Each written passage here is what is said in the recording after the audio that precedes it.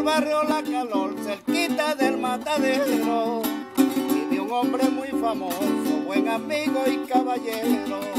Y en el barrio La Calor, cerquita del matadero, vive un hombre muy famoso, buen amigo y caballero. Con una soga en la mano, hay que tenerle miedo cuando enlaza un toro bravo, ahí mismo le pica el cuero de tomate y mamón y se gana buen dinero.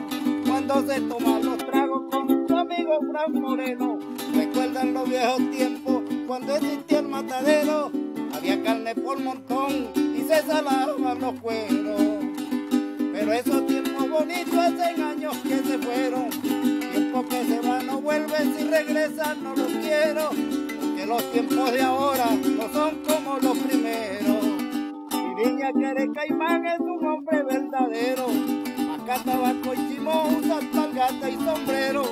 Un día mató un tigre y se rompió con el cuero. Quiriña quiere caimán, a nada le tiene miedo. Quiriña quiere caimán, es un amigo sincero. Quiriña quiere caimán, es el rey del matadero.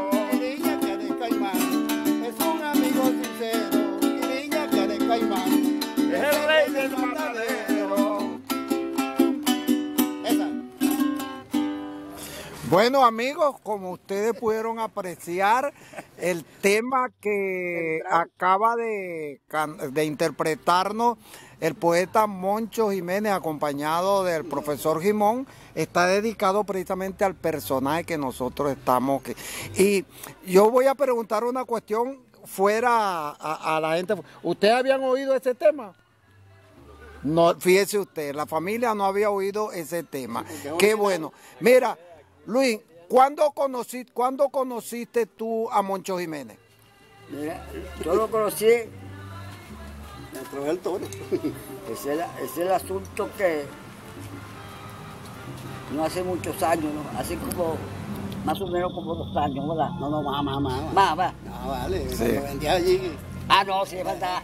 como unos 10 Ah. años atrás. ¿eh? Sí, sí. Sí, unos 10 años atrás. Ahora, y tú, Moncho, cuando tú decides hacer eh, eh, ese tema, ¿es basado en qué? ¿Cómo, cómo Bueno, te nace esa inspiración? eh, yo me baso en lo que él me relata.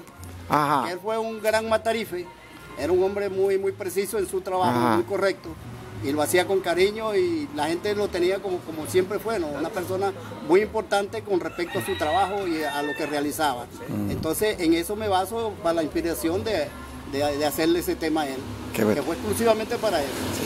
Mira, don Luis, este, ¿cómo es eso de, de- cómo llegas tú a trabajar en el matadero? Porque estamos hablando del matadero viejo de Cantaura. Eso no existe ya. No, nada.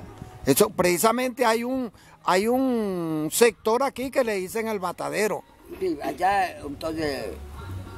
de la planta de hielo. Del lado abajo de la planta de abajo de la de hielo. Ah. Allí era, allí era el matadero. Ajá. ¿Y cuándo empiezas tú a trabajar ahí? Ah, no, yo allá llegué a ser matadero viejo, no, fui a tra- no trabajé nunca, aquí sí. Ajá. Cuando llegó de allá, llegó aquí, que se du- duró 20 años. Pero, pero el, eh, eh, estamos hablando precisamente del matadero viejo donde tú trabajaste. No, yo no trabajé en ese matadero. Yo trabajé fue aquí. Bueno, ajá, cuando tú trabajaste ahí, ¿qué edad tenías tú cuando llegaste ahí? Cuando ahí, Ah. tenía yo 25 años. 25 años. ¿Y cuánto tiempo trabajaste ahí? Ah, bueno, al tiempo que tuvo eso, que, que tuvo 20, 20 años. 20 años más o 20 menos. años, sí. Ajá. Mira, eh, Quiriña, y en este caso, ¿cómo es que tú llegas a trabajar en eso cuando tú habías, te habías desempeñado, era como agricultor, pues? ¿Cómo llegas tú a trabajar como matarife? Pero tú sabes que uno algunas veces, uno no haya donde trabaja en la, agricultura y no había más nada que hacer, tuve que empujarme por el matadero. Ajá. Exactamente. ¿Y en qué consiste el oficio de eso? ¿Ah? ¿En qué consiste el trabajo de matarife? ¿Qué es lo que tú hacías? Bueno, yo, yo mataba cochinos, Ajá, mataba ganado, ajá, nada. Ajá. Pero- no es simplemente matar, hay que despostarlo también. No, yo hay lo que- hacía era matarlo Ajá, Y otro y, y- y, lo- y lo expresaba a otro. Ah, lo lo- que hacía era matarlo. Mataba a los cochinos y la red, eh, bueno, la red, lo único que hacía yo es postarla y dárselo a los peceros. Ajá. Entregaba nosotros de madrugada aquí en el mercado. El mercado de madrugada la carne y Mm. lo llevábamos al mercado, a donde lo recibía el pesador. Cuando, cuando, ya, cuando tú hablas del mercado, hablas también del mercado viejo, ¿verdad? El que está aquí mismo, en la zona de Mercado Viejo. Pero yo no trabajé en ese mercado. No, yo sé, pero cuando para donde se llevaban la carne. Sí, sí, sí. Ayer donde habían los portales donde vendían la carne. Sí. Por casualidad, Manuel Jimón conoció eso. Bastante. Ajá. Ese mercado municipal, el mercado Ah, viejo. Ajá. donde ahorita está el teatro Isaías Medina Jagarita. Sí, Ahí exactamente. estaba muchos, muchos pece- peceros, pues había allí. Había, era, era por departamento Ajá. y estaba la, la mujer que hacía las morcillas. Ahí Ajá. Era Josefina Sí. Zamora. ¿Cómo no? Sí. Esa, Josefina Zamora. Ah, sí. Ah. ¿Cómo me dijiste el nombre? Josefina Zamora. Josefina Zamora. La que hacía las morcillas. Ah, Bueno, pero estos no son tan muchachitos, Moncho Jiménez. Estos se conocen esa historia. Bueno, pues esa historia, esa historia Yo le quería larga. preguntar a Quiriña si él conoció la planta de luz de, del señor Gómez, de Agustín Gómez. ¿La conociste? La planta de luz del Merey, Aquí. Sí, Ajá. sí la conocí. Eh, ese era de, de, de Agustín Gómez. Agustín Gómez, correcto. Ah. ¿Tú conociste esa planta? De Rómulo. ¿Conoció esa planta? ¿Tú conociste esa planta? Sí, cómo no, yo lo que sé que es en Trapichito. En Trapichito. eso, En exacto. Trapichito. Ahí sí. perdió la, la mano, el brazo completo, el, el mocho Cayán. Ah, Ah. Hay un relato que él era vigilante y hubo un circuito, se cayó un cable y le quitó el brazo. El brazo, el al brazo. mocho Cayán en esa planta de luz sí, sí. de Agustín Él Gómez. trabajaba en Guachimán. De Guachimán. sí. Esos fueron los tiempos entonces cuando comenzó la electricidad por aquí. Mm. Y me dice que estaba eh, por la zona de, De Trapichito. de Trapichito, en la orilla de Trapichito. En los y, pozos, en los pozos. en los po- ¿Y por qué estaba esa planta ahí? Bueno, porque la tenía fuera del pueblo. Ah, la necesitaban fuera del pueblo. Y como tenía el acto cerquita en el Merey, Ajá. de ahí le quedaba más cerca para, para vigilarla. Y, Ah. y el operador era Víctor Simonovi. Víctor Don Simonovi. Víctor Simonovi. sí. Don Víctor Simonovi. De estos Simonovi que nosotros conocemos ahorita. De los eh, tíos de Raúl Simonovi. Hijo de Raúl Simonovi. Qué bueno, sí.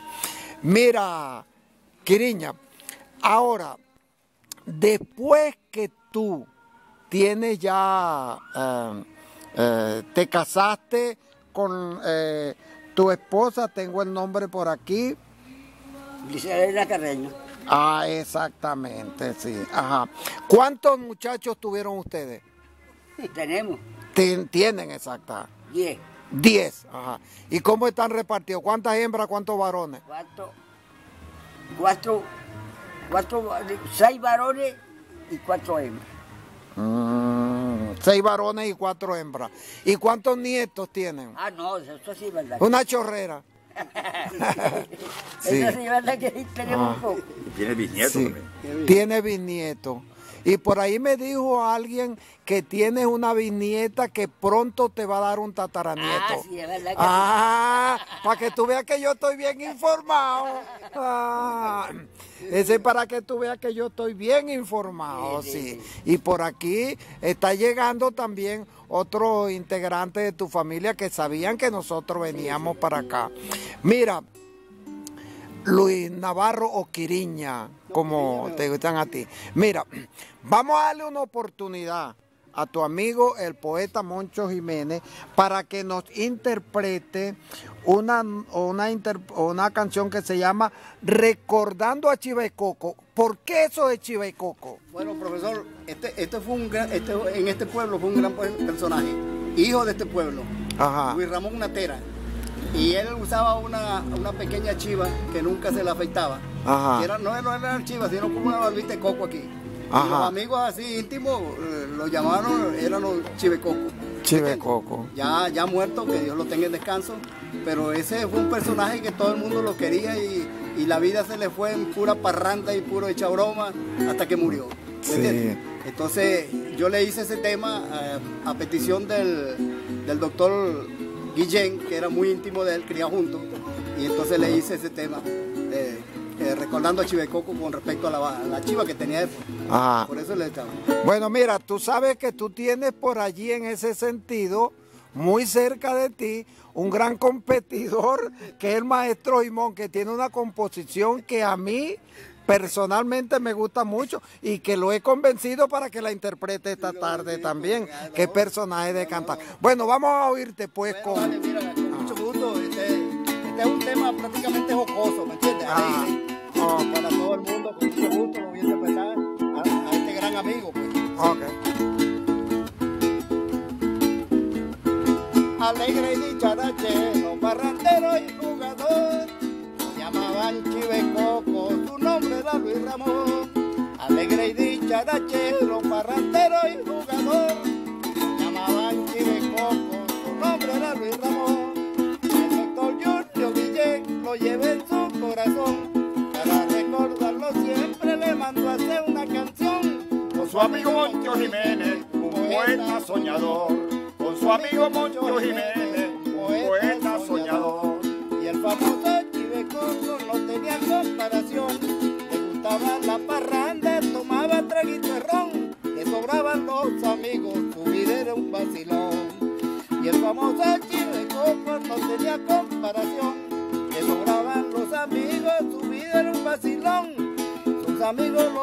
recuerdan con cariño y con amor. Sus amigos lo recuerdan con cariño y con amor. Que Dios te tenga en el cielo, apreciado Luis Ramón. Que Dios te tenga en el cielo, apreciado Luis Ramón. Qué bueno. Mira, Luis, ¿tú conociste a Chivecoco? Ah, no, no lo No te, sí tienes que haberlo visto, a lo mejor es que no te acuerdas de él, tienes que haberlo visto. Y usted, maestro Jimón, usted sí lo conoció. Demasiado, estuvo en el acto de nosotros, estuvo en el acto de nosotros, pasando una temporada Ah. ya. Se le mencionó un caballo. ¿No puede recordar el nombre del acto de ustedes? Santo Domingo. Santo Domingo, yo lo sé, lo que pasa es que quería que, que, que porque él se emociona mucho, siente una gran Era tan satisfacción. tremendo que allá le hizo una hazaña a un, amigo, a un hermano mío. Estamos sacando una tiñuela Ajá. y la tiñuela ya estaba casi lista.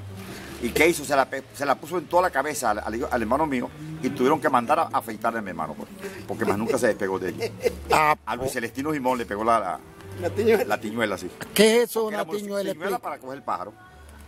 Ah, Una pega Pega, que- pega, pega. ah, una pega. era demasiado tremendo ese Catil Luis Ramón. Con razón esa composición. Ah, sí, sí. Bueno, te voy a decir una cuestión. Yo tengo entendido que el amigo Quiriña era, era tremendo también.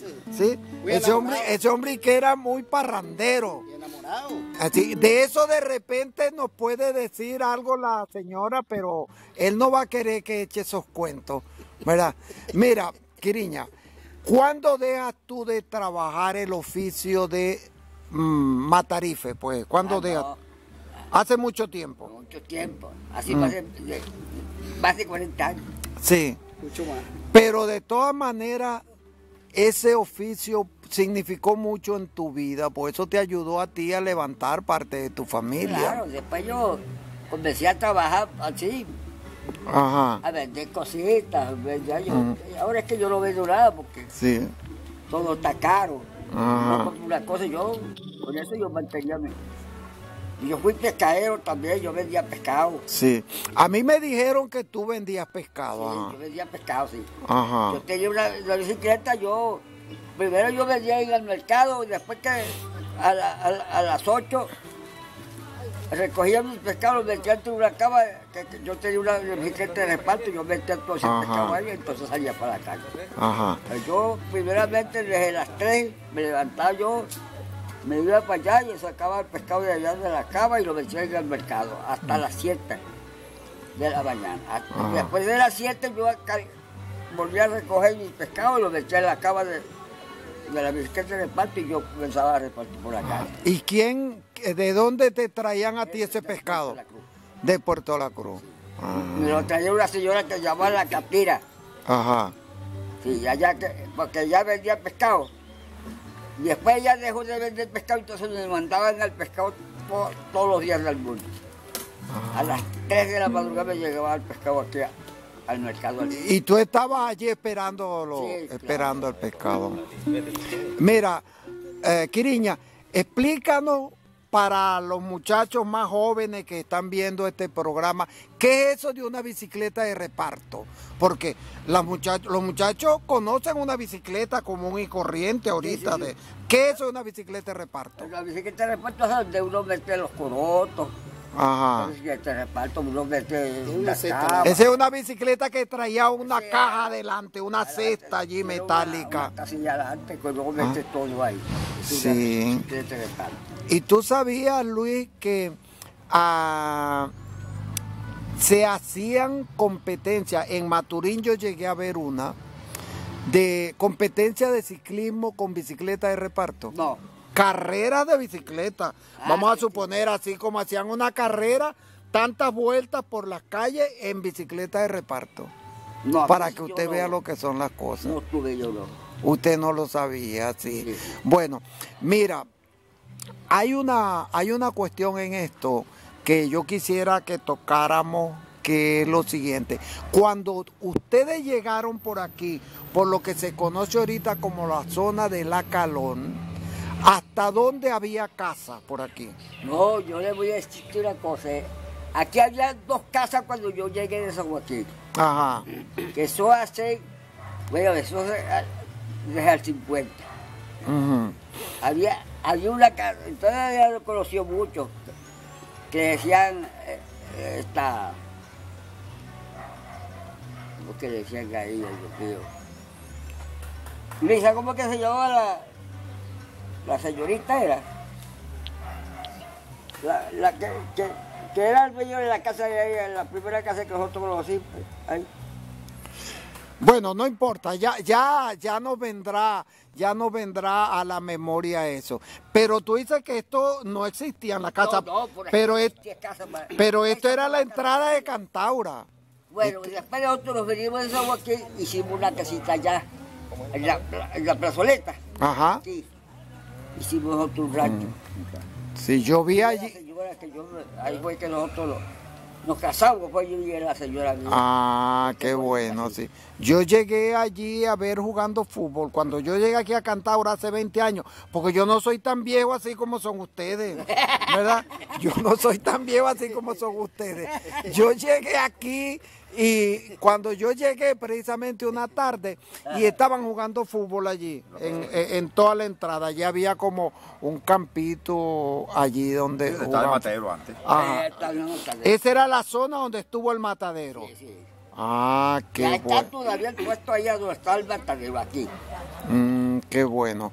Bueno, mira, nosotros nos toca hacer otra pausa aquí para regresar con esta conversación tan sabrosa, este diálogo tan sabroso que tenemos nosotros aquí con Quiriña Carecaimán, como le dicen a él, ¿verdad? Está también, por supuesto, el maestro Manuel Jimón y el poeta Moncho Jiménez, que nos ha acompañado, nos ha deleitado con tres temas, con cuatro temas muy sabrosos. Bueno, nosotros vamos a ir un momentico a una pausa y regresamos con, una inter- con las interpretaciones que el profesor Luis Manuel Jimón le va a dedicar a Quiriña y a Cantaura en general. Pues.